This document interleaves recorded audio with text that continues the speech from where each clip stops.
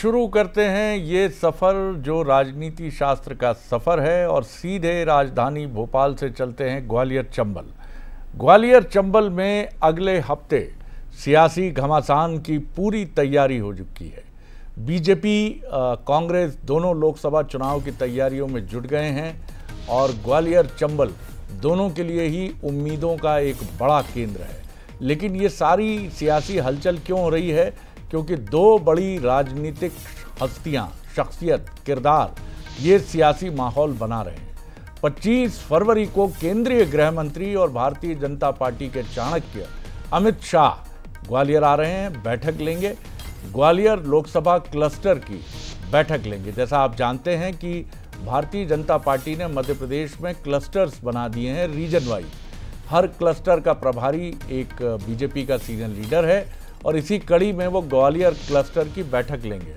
हर cluster की बैठक में दिग्गज नेता शामिल होंगे। दो मार्च को मुरैना से ग्वालियर पहुँच रही है राहुल गांधी जी की यात्रा। तो ये एक और दिग्गज हस्ती जो भारतीय राजनीति की है, वो पहुँच रहे हैं। ग्वालियर में होगा राहुल गांधी का रोड शो और सभा। विधानसभा चुनाव में ग्वालियर चंबल में कांग्रेस का वोट प्रतिशत उसकी उम्मीदों को बढ़ा रहा है।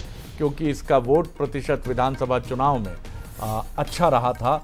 इसीलिए अमित शाह भी वहाँ हैं कि वो नहीं चाहते कि ग्वालियर चंबल में कोई भी सीट कांग्रेस के हाथ लगे।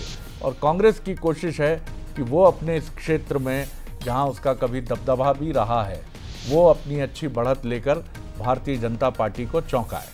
तो ये कहानी है ग्वालियर चंबल की और अमित शाह और राहुल गांधी यानी अगले सप्ताह सियासी घमासान दिग्गज मैदान में और मनोज हमारे साथ जुड़ गए हैं। हमारे executive editor political affairs Manoj, Gwalior से कहानी शुरू हो रही है क्योंकि ग्वालियर मध्य प्रदेश की राजनीति का वैसे भी केंद्र रहा है। चाहे बात करें ज्योतिरादित्य सिंधिया की, नरेंद्र सिंह तोमर जी की चाहे डॉक्टर नरोत्तम मिश्रा की बड़े बड़े दिग्गज वहाँ से आते हैं। और यही वजह है कि ग्वालियर चंबल काफ़ी इस बार भी सरगर्मी का केंद्र है। क्या किस तरह से ग्वालियर क्लस्टर इसलिए लिया है कि वहाँ पर तैयारी भारतीय जनता पार्टी और कांग्रेस दोनों की बेहतर है, इसीलिए कि टक्कर मुकाबला अच्छा है वहाँ, इसीलिए आ रहे हैं शाह वहीं से शुरू कर रहे हैं क्लस्टर मीटिंग्स। देखिए शरद जी, जब विधानसभा के चुनाव हुए तो ग्वालियर ने 2018 से बेहतर परफॉर्मेंस 2023 में देखने को मिला।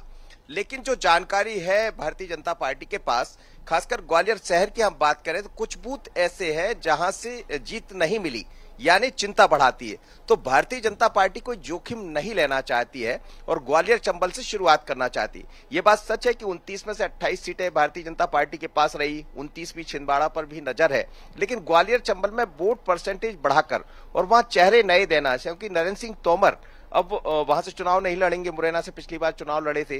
ज्योतिरादित्य सिंधिया के लिए कहा जा रहा है कि शायद गुना की जगह वो ग्वालियर आ जाए। तो ऐसे तमाम तरह की चीज़ें हैं तो वहाँ जोखिम भी कुछ दिखाई देता है। और राहुल गांधी की न्याय यात्रा भी वहीं आ रही है तो इसीलिए शायद भारतीय जनता पार्टी के जो शीर्षस्थ नेता है, या चाणक्य जिन्हें कहा जाता अमित शाह पहुँच रहे कार्यकर्ताओं से बात करने वाले। आपने ये भी देखा कि क्लस्टर जब प्रभारी बनाए गए तो चंबल ग्वालियर के प्रभारी नरोत्तम मिश्रा थे। बाद में बदलकर भूपेंद्र सिंह को वहाँ कर दिया और भूपेंद्र सिंह की जगह सागर में डॉक्टर नरोत्तम मिश्रा को कर दिया। तो बीजेपी ये मानकर चल रही है कि राम के सहारे तो हम जा रहे हैं, लेकिन राम के सहारे कहीं कोई गलती ना कर बैठे, कोई चूक ना कर बैठे तो ऐसे स्थान जहाँ वोट परसेंटेज कुछ बूथों पर कम रहा है तो इन इन चीज़ों को चयनित किया गया।